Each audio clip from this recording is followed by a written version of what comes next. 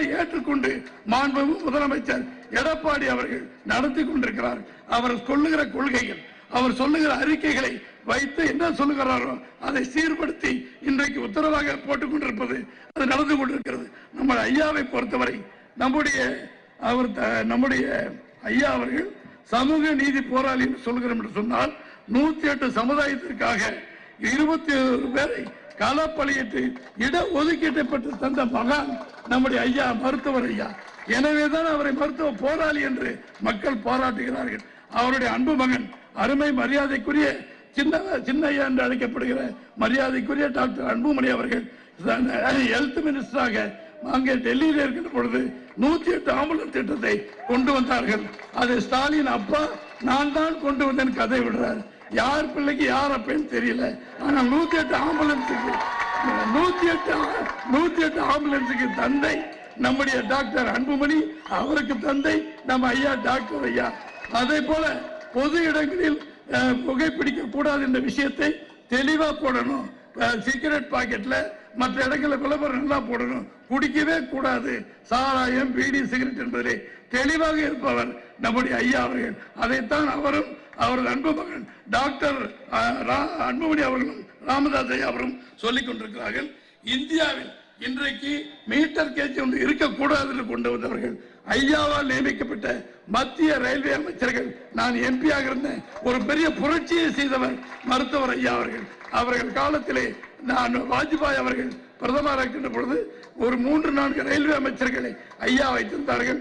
இவர் சொன்னதை உடனடியாக செய்துவிட்டு Viluppuram to Virudhachalam Virudhachalam to Dindigul Dindigul to Madurai. அத்தனை இரட்டை வழி பாதை போட்டு மின்சாரம் எல்லா இடத்திற்கும் மின்சாரம் பாய்ச்சி அருமையான ரயில் சர்வீஸை தருவதற்கு உத்தரவிட்டவர் ஐயா மருத்துவர் அவர்கள். அதே போல இன்னொரு பெரிய விஷயம். தஞ்சை மாவட்டத்தில் குடிதாங்கி என்ற ஊரில் தாழ்த்தப்பட்ட ஒருவர் பிணம் நம்மை போன்ற மற்ற சமூக மக்கள் தெருவிலே அந்த பிணத்தை கொண்டு போகக்கூடாது. தாழ்த்தப்பட்டவருடைய பிணம் இற- இறக்கப்படுகிறது. அந்த பிணத்தை ஊரில் நடுவிலே கொண்டு போனால் மற்ற ஜாதியர்கள் அனுமதிக்கவில்லை. இதை தெரிந்தவுடனே ஐயா மின்னல் வேகத்தில் புறப்பட்டு நேராக அந்த கு- தஞ்சை மாவட்டத்தில் இருக்கிற குடிதாங்கி என்ற ஊருக்கு சென்று அந்த பிணத்தை தன்னுடைய முதுகில தோளிலே சுமந்து நேராக புதைத்து அந்த தாழ்த்தப்பட்ட மக்களுக்கு ஒரு மரியாதை வாங்கி தந்த இன போராளி நம்முடைய ஐயா மருத்துவர் ஐயா. அதைத்தான் வணங்கி வரவேற்று அவரை உங்கள் சார்பிலே நம்மை அவர் வரவேற்க வேண்டும். நம்மளுக்கு வழிநடத்த வேண்டும்.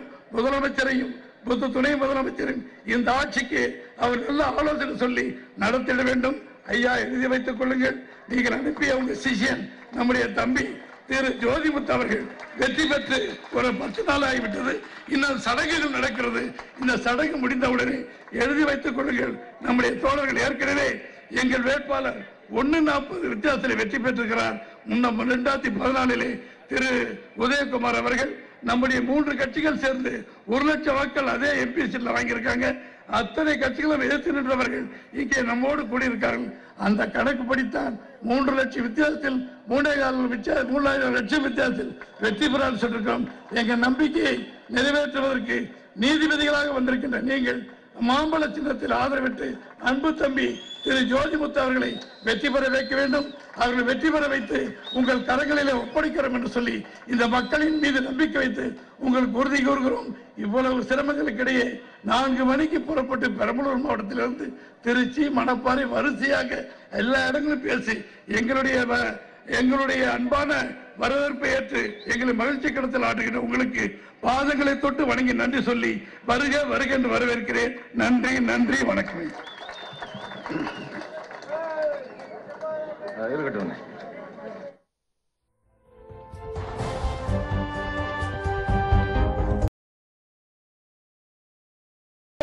பல்வேறு கதைகளை விட்டு அவர் நிதியமைச்சராக இருக்கின்ற பொழுது காங்கிரஸ் ஆட்சியில் இருக்கும் பொழுது ஏழைகளை பற்றி நினைக்காத அவர் நேற்றைக்கு ஒரு புதிய ரீல் விடுகிறார். இவையெல்லாம் அவர்கள் ஆட்சியில் இருந்த பொழுது மக்களை பார்த்து நல்லது செய்திருந்தால் பரவாயில்லை. ஆனால் பாரத பிரதமர் நரேந்திர மோடிஜி அவர்கள் அருமையாக ஆறாயிரம் ரூபாயை மக்களுக்கு வழங்குகிறேன் சொல்லி இரண்டாயிரம் ரூபாயை வங்கியில் போட்ட மா வீரன் இந்தியாவுடைய புரட்சியாளர் நம்முடைய ஐயா நரேந்திர மோடிஜி மீண்டும் வருவதற்கு ஒரு சூழ்நிலை வந்துவிடக் கூடாது என்று இன்றைக்கு சிதம்பரம் போன்றவர்கள் பல்வேறு பொய்களை சொல்கிறார் என்று சொன்னால் திரும்ப திரும்ப ஒரு பொய்யை சொன்னால் உண்மையாகிவிடும் என்று கோயபல்ஸ் போன்றவர்கள் தத்துவத்தை இன்றைக்கு ராகுல் காந்தியும் அதே தத்துவத்தை நம்முடைய ராகுல் காந்தி போன்றவர்களும் செய்து வருகிறார்கள். தோழர்களை ஒன்றை புரிந்து கொள்ள வேண்டும். முதலமைச்சரை பார்த்து ஊழல் என்று சொல்பவர்கள் லோக் ஆயுக்தா என்ற சட்டத்தை இன்றைக்கு அம்மாவுடைய ஆட்சியிலே கொண்டு வந்தார்கள். அதிலே முதலமைச்சர் துணை முதலமைச்சர் அமைச்சர்கள் யாராக தவறுத்தாலும் அதில் வழக்கு போடலாம். உடனடியாக விசாரித்து தீர்ப்பு அளிக்கலாம். ஆனால் அரசியல் ஆண்மையுள்ள ஸ்டாலின் இந்த இரண்டரை விட காலத்தில் மேடைகளிலே பத்திரிகைகளை எழுதலாம் தவிர யாரையாவது வைத்து யாரையாவது எதிர்த்து ஆதாரங்களோடு வழக்கு மன்றத்திற்கு சென்று லஞ்ச புகார் கொடுத்திருக்கிறாரா என்றால் அரசியல் ஆண்மை இருந்தால் கொடுத்து விட்டு ஸ்டாலின் மேடைகளிலே பேச வேண்டும். எதுவும் இல்லாமல் ஆறு கொலைகளை செய்தார். புரட்சி நம்முடைய முதலமைச்சர் எம்ஜி நம்முடைய எடப்பாடி பழனிசாமி அவர்கள் என்று சொல்லுகிறார். அந்த கொலைகளை செய்தவர்களை கண்டுபிடித்ததே மாண்புமிகு முதல்வர் எடப்பாடி அவர்கள் தலைமையில் இருந்த சீர்மிகு காவல்துறை அதிகாரிகள்.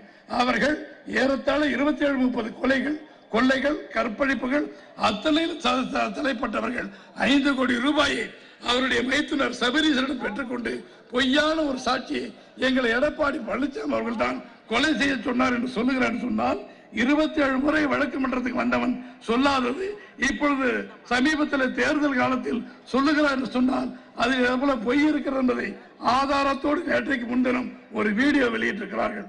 இதை நீங்க ஏன் இப்ப வேக வேகமா சொல்லுறேன்னு சொன்னால் ஒரு பொய்யை திருப்ப திருப்ப அவங்க அப்பா காலத்தில் சொன்னார். அவரு அஞ்சு தடவை முதலமைச்சர் போயிட்டார். கடைசி வரை முதலமைச்சர் ஆக முடியல. புரட்சி தலைவர் எம்ஜிஆருடைய ஆன்மா புரட்சி தலைவி அம்மாவுடைய ஆன்மா அவர்கள் வராத சூழல் உருவாக்கி மக்கள் எதிர்பார்க்கின்ற புரட்சி தலைவர் ஆரம்பித்த அனைத்து இந்திய அண்ணா திமுக ஆட்சி தொடர்ந்து நடைபெறுவதற்கு அவருடைய ஆன்மா நமக்கு வந்து கொண்டிருக்கிறது. உங்களை போன்ற கடலை போல் குடிக்கின்ற மக்கள் எங்களுக்கு ஆதரவு கொடுத்திருக்கிறார்கள். அந்த நம்பிக்கையிலே தான் இந்த ஆட்சியை பொறுத்தவரை மாண்புமிகு ஐயா எந்த நேரம் புகழ்ந்தது கிடையாது. நம்முடைய மருத்துவர் ஐயா பல கிரிட்டிசிசம் பல விமர்சனங்கள் பல முறைகள் செய்திருக்கிறார்கள். ஒவ்வொரு நாளும் அதுக்கு அறிக்கைகள் வரும். இது தவறு இது சரி இது இப்படி செய்திருக்க வேண்டும் என்று சொல்லியிருக்கிறார்கள்.